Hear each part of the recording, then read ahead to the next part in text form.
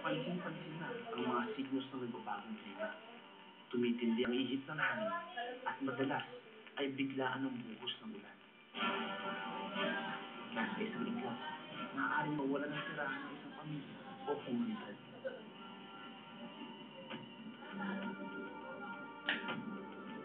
Ganyan na nangyari sa barangay Maasin Zamboanga City. May mga malaking pagbabago na nagaganap dito sa kapaligiran, particular dito sa Zamboanga City, na kung saan kauna-unahan na nakaranas ng mga malalaking pag-alon na nangyari noong November 27, 2007. Lemero, medyo hinahina yung alon. Pagkatapos yung pangala- pangalawa, nadala na ba namin lahat? Wala na.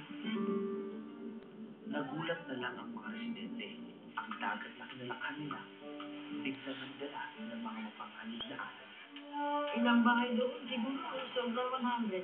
Madala, wala na iwan kahit ano. Doon na kami sa baba, umiyak na ako. Sabi ko, Panginoon, tulungan ko kami.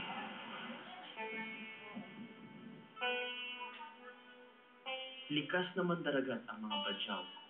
Pero dahil sa takot sa mga lumalaking alon, ang iba sa kanila ay napilitan ng lisanin ng karagatan. Ang katiting na pag-aari ng mga taga rito, ipinaubayan na lang nila sa dagat. ang nasa isip ko, bakit ganito? Ano ang kasalanan namin sa Diyos?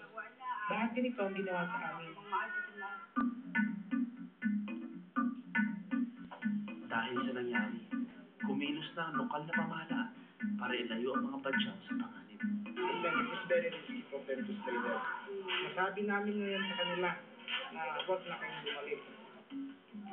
Pero hindi madali para sa ibang badyaw na iwan ang dagat.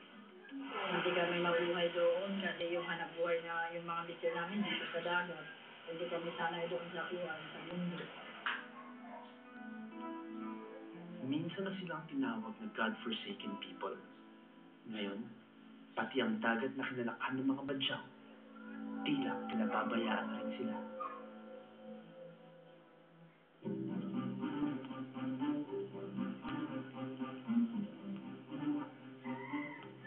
Mga bahay at ari-arian ang winawasak ng labis na pag-ulan, kalusugan naman ang isa sa mga pinupuntirya na umiinit na kapaligiran.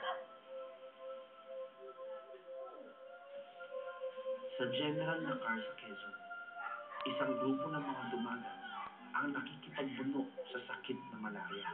Ay talaga pong akin, tapos nakakamatay po talaga. Po, bihira po ako nagkakasakit kung panahon pa kayo, kung bata pa ako dahil hindi naman sobra ngayon kung magkaroon ng malaria, eh, halos lahat, isang buong pamilya eh, pagka-malaria lahat. Pinuno ng kanyang grupo si Ato. Isa sa limang anak niya ay kamamatay lang dahil sa malaria.